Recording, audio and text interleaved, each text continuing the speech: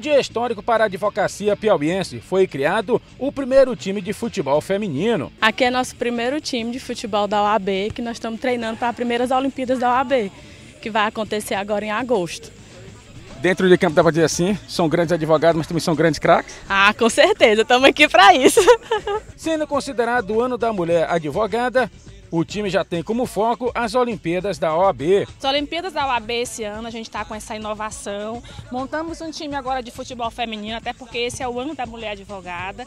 E nós estamos aí, prontas para ganhar. A gente da CAP, da OAB, se preocupa sempre em levar para os advogados melhores condições e a promoção da saúde também pela prática de esportes. E aqui nada mais justo que no ano da mulher advogada, que esse ano para a advocacia nacionalmente é o ano da mulher advogada, que a gente tenha um representante feminino no, no futebol. Então as meninas aqui com todo o nosso apoio e estímulo para que engrandeçam o futebol piauiense, que feminino já é forte, também na, na classe dos advogados agora. A primeira Olimpíada da OAB acontece no mês de agosto aqui em Teresina. E o time piauiense precisa de atleta, precisa de mais jogadores. É assim que funciona, Lívia? Faça esse convite aí.